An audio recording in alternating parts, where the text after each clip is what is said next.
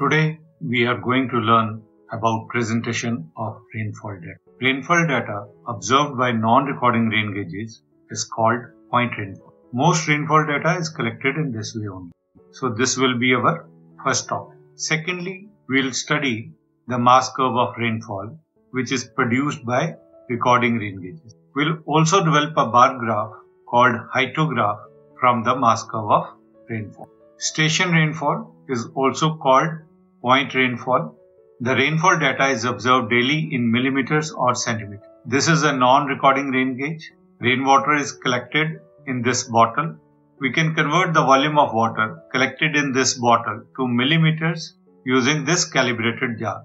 All of this has been explained in an earlier video, the link for which is given in the top right corner of your screen as well as in the description of this video. The observed daily data is listed for various periods daily, weekly, monthly, seasonal, and annual. You can get daily rainfall data from Indian Meteorological Department in Pune or from the rain gauges of state agricultural departments in India. This is what daily meteorological data looks like for one station. We can focus on rainfall data here 1.4 mm of rain occurred on one day, February 6, 2023. For rest of the month, there was no rain. Another type of data available from rain gauge stations is the mass curve of rainfall. The mass curve of rainfall is plot of accumulated rainfall against time. This graph is generated by a siphon type rain gauge. If you want to know how this graph was made, you can watch the video where I explain the working of siphon type rain gauge. The link for the siphon type rain gauge video is given in the top right corner of your screen as well as in the description of this video. Let us discuss the mass curve in detail. Here time is on x-axis and cumulative rainfall in millimeters is on the y-axis. The curve rises at the start and then becomes parallel to the x-axis indicating that the cumulative rainfall is not increasing, which implies the rain has stopped. After this red part, the curve starts rising again, indicating that rain has started. The curve before the red part represent the first storm and the curve after the red part represent the second storm. Let's list all the observations we can get directly or indirectly from the mass curve the first direct observation is the onset and cessation of any storm. Onset means when the rain starts. If you see this curve here, the rain starts at 11 am and continues until 1 pm. After 1 pm, it stops and starts again at 3 pm. This means for the first storm, the onset of rain is at 11 am and the cessation is at 1 pm. Also, we can observe magnitude and duration of the storm. For the first storm, the magnitude is 8 mm and the duration is 2 hours. Indirectly, we can find the intensity from the mass curve by finding the slope. We will do this in detail. First, let's define the intensity of rainfall. Intensity of the rainfall is the ratio of total amount of rain expressed as rainfall depth falling during a given period to the duration of that period we can find intensity of rainfall by taking any two points on the mass curve. The depth of the rainfall and the time between these two points are noted and by applying this formula which is the slope of mass curve we can find the intensity. Intuitively intensity is like speed and has the same unit. Let's find the intensity from a mass curve.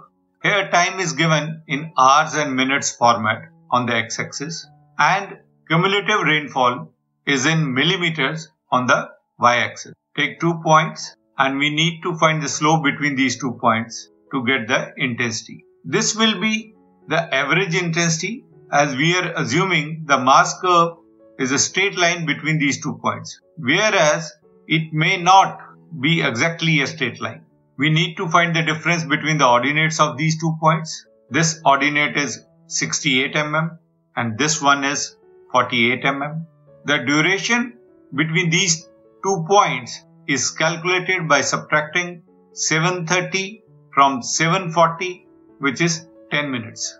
So the intensity is 68 minus 48 divided by 10 minutes. We can convert millimeter per minute to millimeter per hour by multiplying it with 60 minutes by 1 hour. Here minutes and minutes will cancel out and we are left with millimeters per hour.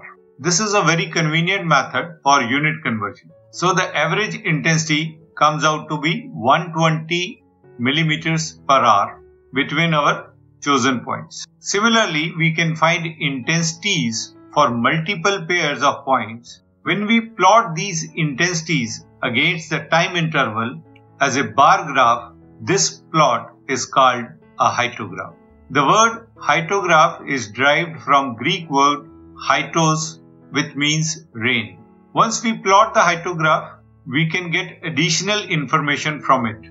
We can directly see maximum rainfall intensity and time period of its occurrence. Here it is 198 millimeter per hour and it occurs between 7:50 am and 8 am. Also we can see minimum rainfall intensity and the time period of its occurrence. It is 36 mm per hour and occurs between 8:20 am and 8:30 am. Indirectly we can find the amount of rainfall in different time periods by finding the area of these bars. For example, the area of this bar can be found by multiplying the length which is 198 millimeter per hour by the breadth which is 10 minutes. Multiply it by 1 hour by 60 minutes for unit conversion. Here minutes will cancel out with minutes and hours will cancel out with hours and we are left with 33 millimeters of rainfall which occurs from 7.50 am to 8 am. If we find area of all the bars and add them, we can find area under the hyetograph. It will yield total rainfall. Let's drive a complete hyetograph from the mass curve. It is easier to do calculations if the mass curve is available in tabular form. This tabular data is obtained from the mass curve at 10 minutes interval. We can find the intensities for the time periods in tabular form. We'll leave one row between the time periods in the table. This will help in understanding that the calculated intensity will belong to the whole period, not for any specific time. Since the mass curve is a cumulative curve, we'll find incremental rainfall which is equivalent to finding the difference in ordinates. The incremental rainfall for the first period from 7 to 7:10 am is 19 mm minus 0 mm equal to 19 mm. Similarly, for the second period, we can subtract 19 mm from 41 mm, which will give 22 millimeters of rainfall. The next one is 7 millimeters and so on. Now let us find the intensity for the first time period, which is from 7 to 7:10 am. So we will divide the incremental rainfall of 19 mm by 10 minutes, which is difference between 7:10 and 7 am. Again, to convert millimeter per minute to millimeter per hour, multiply it with 60 minutes by 1 hour. Then these minutes and minutes will cancel out and we will get an intensity equal to 114 millimeters per hour.